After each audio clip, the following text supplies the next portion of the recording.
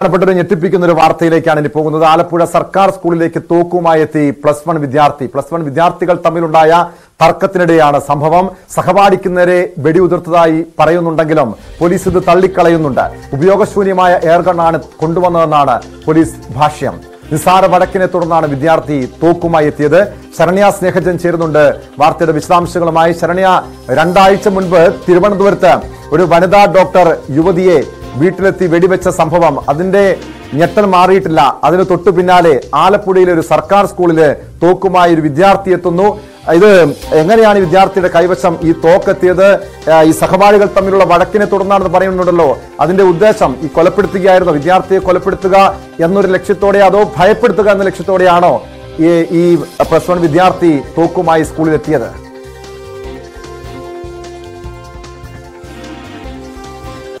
Tom കഴിഞ്ഞ ചൊവ്വാഴ്ചയാണ് ഞെട്ടിക്കുന്ന സംഭവം ഉണ്ടായിട്ടുള്ളത്. ആലപ്പുഴ നഗരത്തിൽ സർക്കാർ സ്കൂളിലാണ് എയർഗണ്ണുമായി തോക്കുമായി ഒരു വിദ്യാർത്ഥി ആ സ്കൂളിലേക്ക് എത്തിയത്. അതായത് ഈ സംഭവം നടക്കുന്നത് ഇങ്ങനെയാണ്. കഴിഞ്ഞ ചൊവ്വാഴ്ച വിദ്യാർത്ഥികൾ തമ്മിൽ പ്ലസ് വൺ വിദ്യാർത്ഥികൾ തമ്മിൽ സംഘർഷമുണ്ടായിരുന്നു. തുടർന്ന് ഈ രാവിലെ നടന്ന സംഘർഷത്തിന്റെ ബാക്കി പത്രം രീതിയിൽ വൈകിട്ട് സ്കൂൾ കോമ്പൗണ്ടിന് പുറത്തു വെച്ചും സംഘർഷം നടന്നു. ഈ സംഘർഷത്തിനിടയിലാണ് മറ്റ് അതായത് പൂങ്കാവ് സ്വദേശിയായ വിദ്യാർത്ഥിയുടെ കയ്യിൽ എയർ ഗൺ ഉള്ളതായി അധ്യാപകരടക്കം കാണുന്നത്. അതായത് ഈ എയർ ഗൺ ഉപയോഗിച്ച് മർദ്ദിച്ചു എന്നാണ് പരാതി നൽകിയിട്ടുള്ളത്. മർദ്ദിച്ച ശേഷം എയർ ഗൺ ഉപയോഗിച്ച് മർദ്ദിക്കുകയും ഒപ്പം തന്നെ തങ്ങളെ തോക്ക് കാണിച്ച് ഭീഷണിപ്പെടുത്തുകയും ചെയ്തു നടക്കമുള്ള കാര്യങ്ങൾ മറ്റ് അതായത് അടിയേറ്റ വിദ്യാർത്ഥി മൊഴി നൽകിയിട്ടുണ്ട്. തുടർന്ന് സ്കൂളിലെ പ്രിൻസിപ്പളുടെ നേതൃത്വത്തിൽ എച്ച് എമ്മിന്റെ നേതൃത്വത്തിലുള്ള സംഘമാണ് പോലീസിന് സൗത്ത് പോലീസിന് വിവരം കൈമാറിയത്. ഈ വിവരത്തിന്റെ അടിസ്ഥാനത്തിൽ അതായത് ഇത്തരത്തിൽ തോക്ക് വിദ്യാർത്ഥി സ്കൂളിൽ കൊണ്ടുവന്നു എന്നുള്ള വിവരത്തിന്റെ അടിസ്ഥാനത്തിൽ പോലീസ് നടത്തിയ റെയ്ഡിൽ ഈ വിദ്യാർത്ഥിയുടെ വീട്ടിൽ നിന്നും ഈ എയർഗൺ കണ്ടെത്തിയിട്ടുണ്ട്. ഒരു കൈപ്പത്തിയുടെ വലിപ്പമുള്ള എയർഗൺ ആണ് അതെന്നുള്ളതാണ് പോലീസിൽ നിന്ന് നമുക്ക് ലഭ്യമായ വിവരം. പഴക്കമുള്ള ഗണ്ണാണ് ഈ ഗണ്ണ് ഈ കുട്ടിക്ക് ലഭിച്ചത് ഇയാളുടെ ഈ കുട്ടിയുടെ തന്നെ ഒരു ബന്ധുവിന്റെ കയ്യിൽ നിന്നാണ് എന്നുള്ളത് പോലീസ് ഇപ്പോൾ സ്ഥിരീകരിക്കുന്നുണ്ട്. മാത്രമല്ല ഈ എയർഗൺ ഉപയോഗിച്ച് മർദ്ദിച്ചു എന്നുള്ളതാണ് മറ്റേ കുട്ടി പരാതി നൽകിയിട്ടുള്ളത്. അതുകൊണ്ട് തന്നെ ഈ സംഭവത്തിനകത്ത് സൗത്ത് പോലീസ് കേസ് രജിസ്റ്റർ ചെയ്തിട്ടില്ല. ജുവനൈൽ ജസ്റ്റിസ് ആക്ട് പ്രകാരം ഉള്ള നടപടിക്രമങ്ങളിലേക്ക് പോലീസ് കടന്നിട്ടുണ്ട്. പക്ഷേ കേസ് എടുത്തിട്ടില്ല. ഈ ഇത് ഇത് സംബന്ധിച്ച റിപ്പോർട്ട് ജുവനൈൽ ജസ്റ്റിസ് ബോർഡിന് കൈമാറിയിട്ടുണ്ടെന്ന് ജില്ലാ പോലീസ് മേധാവി അറിയിച്ചിട്ടുണ്ട്. മറ്റൊന്ന് ഈ തോക്ക് പോലീസ് നടത്തിയ പരിശോധനയിൽ തോക്ക് ഇതിന്റെ ബാരൽ അത് ബ്ലോക്ക് ആണ് എന്നുള്ളതാണ് പോലീസ് പറയുന്നത്. അത് അത്തരത്തിൽ പഴക്കം ചെന്ന ഒരു തോക്കാണ്? ഉപയോഗശൂന്യമാണ് എന്നുള്ളതാണ് പ്രാഥമികമായി പോലീസിന്റെ വിലയിരുത്തൽ. എന്തായാലും ഇത് സംബന്ധിച്ച അന്തിമമായ ഒരു തീരുമാനം പറയേണ്ടത് അല്ലെങ്കിൽ ഇത് പരിശോധിക്കേണ്ടത് തിരുവനന്തപുരത്തുള്ള ബാലസ്റ്റിക് വിദഗ്ധരാണ്. അതുകൊണ്ട് തന്നെ സർക്കാരിന്റെ ഇത്തരത്തിൽ ബാലസ്റ്റിക് വിദഗ്ധരുടെ പരിശോധനയ്ക്ക് വേണ്ടി തിരുവനന്തപുരത്തേക്ക് ഈ തോക്ക് അയച്ചിട്ടുണ്ട്. ഈ കുട്ടിയുടെ വീട്ടിൽ നടത്തിയ റെയ്ഡിനകത്ത് ഈ തോക്കും ഒപ്പം തന്നെ മറ്റൊരു കത്തിയും കണ്ടെത്തിയിട്ടുണ്ട്. പക്ഷേ ആ കത്തി അല്ല കുട്ടി സ്കൂളിൽ കൊണ്ടുവന്നിരുന്നത് എന്നുള്ളതാണ് വിദ്യാർത്ഥികൾ പറയുന്നത്. ഒരു പേനാ കത്തിയാണ് ഈ കുട്ടിയുടെ കയ്യിൽ ആ സമയത്ത് സംഘർഷം നടക്കുന്ന സമയത്ത് ഈ കുട്ടിയുടെ കയ്യിൽ ഒരു പേനാ കത്തി ഉണ്ടായിരുന്നു എന്നുള്ളതും വ്യക്തമാക്കുന്നുണ്ട്. എന്തായാലും ഇവരൊക്കെ ഈ കുട്ടികൾ തമ്മിൽ നിരന്തരം സംഘർഷം ഉണ്ടാവാറുള്ള അല്ലെങ്കിൽ അത്തരത്തിൽ തലവേദന സൃഷ്ടിക്കുന്ന ചില ആളുകൾ കുട്ടികളാണ് എന്നുള്ള വിവരമൊക്കെ അധ്യാപകരുടെ ഭാഗത്ത് നിന്ന് പോലീസിന് ലഭ്യമായിട്ടുണ്ട്. ഇത് സംബന്ധിച്ച് പോലീസ് വളരെ ഗൗരവത്തോടു കൂടി തന്നെയാണ് ഈ വിഷയം നോക്കി കാണുന്നത് എന്ത് തോക്കാണെങ്കിലും ഇപ്പോൾ എയർഗൺ ആണെങ്കിലും അത് അത്തരത്തിലൊരു വിദ്യാർത്ഥി തോക്കുമായി കാരണം ഏറെ ഗൗരവത്തോടെ കാണേണ്ട ഒരു വിഷയമാണ് ശരണ്യ. കാരണം ഏതാനും മാസങ്ങൾക്ക് മുൻപാണ് തൃശൂരിലെ തൃശ്ശൂരിലെ ഒരു സ്കൂളിലെ വിദ്യാർത്ഥി തോക്കുമായി എത്തി വെടിയുതിർത്ത സംഭവം നമ്മൾ റിപ്പോർട്ട് ചെയ്തത്. ഇവിടെ ഉപയോഗശൂന്യമായ തോക്കാണെന്ന് പറയുന്നുണ്ട്. പക്ഷെ അതുകൊണ്ട് അതിനെ നിസ്സാരമായി കാണാൻ കഴിയുമോ? ഒരു ഒരു രണ്ട് വിദ്യാർത്ഥികൾ തമ്മിലുള്ള വഴക്കിനെ തുടർന്ന് അതിന്റെ പക വീട്ടാൻ പ്രതികാരം വീട്ടാൻ വേണ്ടി തോക്കുമായി സ്കൂളിലെത്തുക ഇത് പോലീസ് എങ്ങനെയാണ് ഈ കേസിനെ സമീപിക്കുന്നത്? പ്രത്യേകിച്ച് ഒരു വിദ്യാർത്ഥിയാണ് പ്രായപൂർത്തിയാകാത്ത കുട്ടിയാണ്. സാധാരണ അമേരിക്കയിലൊക്കെ നമ്മൾ കാണാറുണ്ട് സ്കൂളിലെ വിദ്യാർത്ഥികൾ തോക്കുമായി എത്തി വെടിയുതിർത്ത് കൂട്ടക്കുരുതി നടത്തുന്ന സംഭവങ്ങളൊക്കെ. അത് അതുപോലുള്ളൊരു സാഹചര്യത്തിലേക്ക് കേരളം മാറുന്നു എന്നുള്ളതല്ലേ ഈ വിഷയത്തെ ഏറെ ഗൗരവമായി സമീപിക്കേണ്ടത്? പോലീസ് ഈ വിഷയത്തിൽ ഈ ഈ കുട്ടിയുടെ കൈവശം തോക്കും പേനാക്കത്തിയും ഒക്കെ ഉള്ള വിവരം ഈ മാതാപിതാക്കൾക്ക് വീട്ടുകാർക്ക് അറിയാമായിരുന്നോ അവരെന്താണ് പോലീസിന്റെ ചോദ്യം ചെയ്യലുമായി ബന്ധപ്പെട്ട് നൽകുന്ന ലഭ്യമാകുന്ന വിവരങ്ങൾ എന്തൊക്കെയാണ്? ശരണ്യ.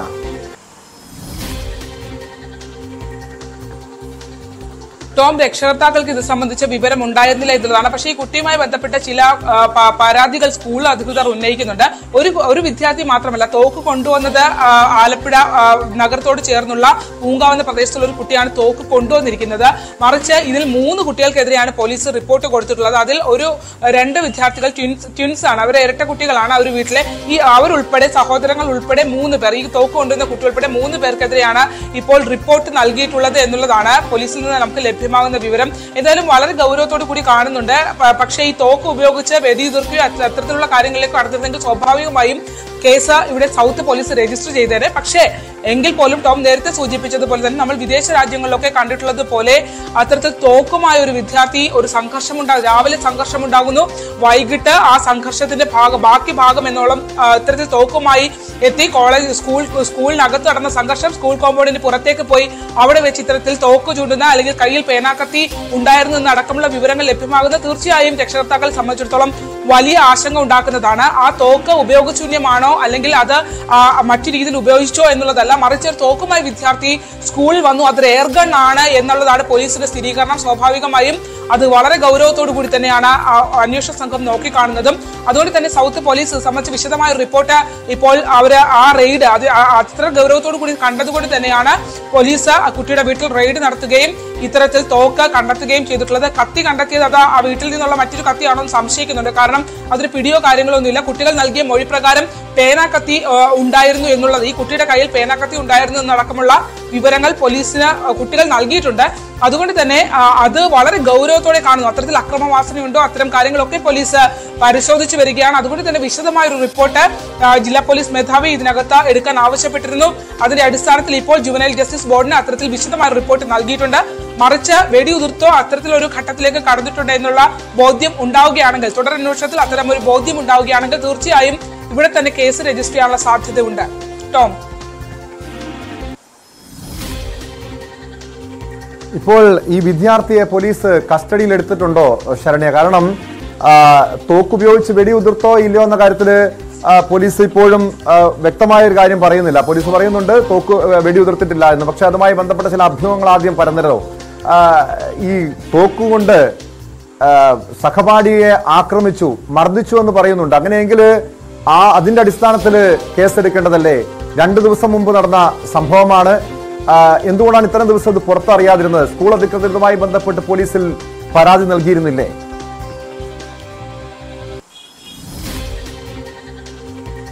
ഇത് സ്കൂൾ രാവിലെ സ്കൂളിൽ വെച്ച് പ്ലസ് വൺ വിദ്യാർത്ഥികൾ തമ്മിൽ സംഘർഷം ഉണ്ടായിരുന്നു അതിനുശേഷം സ്കൂൾ കോമ്പൗണ്ടിന് പുറത്താണ് ഇങ്ങനെ സംഘർഷം ഉണ്ടാവുകയും അതിനകത്ത് ഈ അത്തരത്തിൽ ഗെയർഗൺ ഗെയർ അടക്കം കാണുകയും ചെയ്തു എന്ന് വിദ്യാർത്ഥികൾ നൽകി.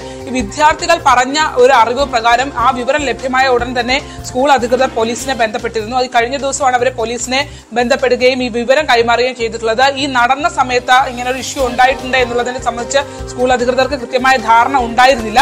പിന്നീട് ഈ ഈ കുട്ടി പിറ്റേ ദിവസം സ്കൂളിൽ വരികയും ചെയ്തിട്ടുണ്ട്. അതായത് ഈ എയർഗൺ ഉപയോഗിച്ചു എന്ന എയർഗൺ കൊണ്ടുവന്ന കുട്ടി പിറ്റേ ദിവസം സ്കൂളിൽ വരികയും ചെയ്തിട്ടുണ്ട്. ഈ സംഘർഷത്തിൽ ഏർപ്പെട്ട കുട്ടികളും വന്നത് പിന്നീട് ഇവരിൽ നിന്ന് ലഭ്യമായ സംഘർഷത്തിൽ ഉണ്ടായിരുന്ന കുട്ടികളിൽ നിന്ന് ലഭ്യമായ വിവരത്തിന്റെ അടിസ്ഥാനത്തിലാണ് ഈ സ്കൂൾ അധികൃതർ പോലീസിന് വിവരം കൈമാറിയത്. അതുകൊണ്ടാണ് അതിനകത്ത് ഒരു കാലതാമസം വന്നത്. തുടർന്ന് ഈ സ്കൂൾ അധികൃതർ വിവരം നൽകിയതിന്റെ അടിസ്ഥാനത്തിൽ തന്നെ പോലീസ് അതിന്റെ നടപടിക്രമങ്ങളിലേക്ക് കടക്കുകയായിരുന്നു. ഒന്നാമത് ഇതിനകത്ത് രഹസ്യ സ്വഭാവം സൂക്ഷിക്കുന്നു എന്നുള്ളത് ജുവനയിലാണ്. അതുകൊണ്ട് തന്നെ പ്രായപൂർത്തിയാകാത്ത കുട്ടികളാണ്. പ്ലസ് വൺ വിദ്യാർത്ഥികൾ വിദ്യാർത്ഥികളാണ്. അതുകൊണ്ട് തന്നെയാണ് അത്തരത്തിലൊരു നടപടിക്രമങ്ങളിൽ പോലീസിന് ജുവനൈൽ ജസ്റ്റിസ് ആക്ട് പ്രകാരമുള്ള നടപടിക്രമങ്ങളിലേക്ക് കടക്കാൻ കഴിയുകയുള്ളൂ. അതുകൊണ്ടാണ് ഇപ്പോൾ മറിച്ച് അവിടെ ഒരു വെടി ഉതിർക്കൽ ഉണ്ടായിട്ടുണ്ടെന്ന് ബോധ്യമായ തീർച്ചയായും അത്തരം നടപടികളിലേക്ക് ഇവിടെ സൗത്ത് പോലീസിന് കടക്കാനാകുമായിരുന്നു മറിച്ച് ഈ ഇത്തരം കാര്യങ്ങൾ തർക്കങ്ങൾ നിലനിൽക്കുന്നത് കൊണ്ട് തന്നെയാണ് ജുവനൽ ജസ്റ്റിസിന്റെ ആക്ട് പ്രകാരമുള്ള അത്തരത്തിൽ പരിശോധന നടത്തി റിപ്പോർട്ട് സമർപ്പിക്കാനായി ഇപ്പോൾ നിർ- നിർദ്ദേശം നൽകിയിട്ടുള്ള അത്തരമൊരു റിപ്പോർട്ട് നൽകിയിട്ടുണ്ട്. മറിച്ച് ഈ തോക്ക് പരിശോധനയ്ക്കായി തിരുവനന്തപുരത്തേക്ക് അയച്ചിട്ടുണ്ട്. പരിശോധനാ ഫലം ലഭ്യമായതിനു ശേഷം മാത്രമേ കൂടുതൽ നടപടികളിലേക്ക് പോലീസ് കടക്കുകയുള്ളൂ. എസ് വ്യക്തമാണ് ശരണ്യ സ്നേഹജനാണ് വിവരങ്ങൾ നൽകിയത്. വിദേശ രാജ്യങ്ങളിൽ ഈ തോക്ക് കൊണ്ടുള്ള ആക്രമണങ്ങൾ പലപ്പോഴും റിപ്പോർട്ട് ചെയ്യാറുണ്ടെങ്കിൽ നമ്മുടെ കേരളത്തിൽ അത്ര സുപരിചിതമായിരുന്നില്ല ഇതുപോലുള്ള സംഭവങ്ങൾ. അല്ലെങ്കിൽ നമ്മളങ്ങനെ കേട്ടുകേൾവിയില്ലാത്ത സംഭവങ്ങളാണ്. പക്ഷേ ഈ സമീപകാലത്ത് ഇതുപോലെ കോതമംഗലത്ത് രണ്ട് വർഷം മുൻപ് കോതമംഗലത്ത് ഒരു ദന്തൽ കോളേജിലെ വിദ്യാർത്ഥിനിയെ മാനസ എന്ന വിദ്യാർത്ഥിനിയെ തോക്കുപയോഗിച്ച് വെടിവെച്ച് കൊലപ്പെടുത്തിയ സംഭവം. അതിനുശേഷം പലയിടങ്ങളിലും ഇത്തരം സംഭവങ്ങൾ നമ്മൾ കേട്ടിട്ടുണ്ട്. എറണാകുളത്ത് കൊച്ചിയിൽ ഒരു ഹോട്ടലിൽ നടന്ന വെടിവെപ്പ്. തിരുവനന്തപുരത്ത് വീട്ടിലെത്തിയൊരു വനിതാ ഡോക്ടറാണ് യുവതിയെ വെടിവെച്ച് കൊലപ്പെടുത്താൻ ശ്രമിച്ചത്. ഈ ഇത്തരം വാർത്തകൾ ഇപ്പോൾ പതിവായി കേൾക്കുന്നു. എങ്ങനെയാണ് ഇവർക്ക് തോക്ക് ലഭിക്കുന്നത്? ഓൺലൈൻ വഴി വരെയും തോക്കുകൾ ഈ എയർ പിസ്റ്റളുകൾ ലഭ്യമാണ് എന്നുള്ളത് എന്നുള്ളത് നമ്മുടെ പോലീസ് ഏറെ ഗൗരവമായി കാണേണ്ട വിഷയമാണ്. ഇതുപോലുള്ള സംഭവങ്ങൾക്കെതിരെ ശക്തമായ നടപടിയാണ് സ്വീകരിക്കേണ്ടത്.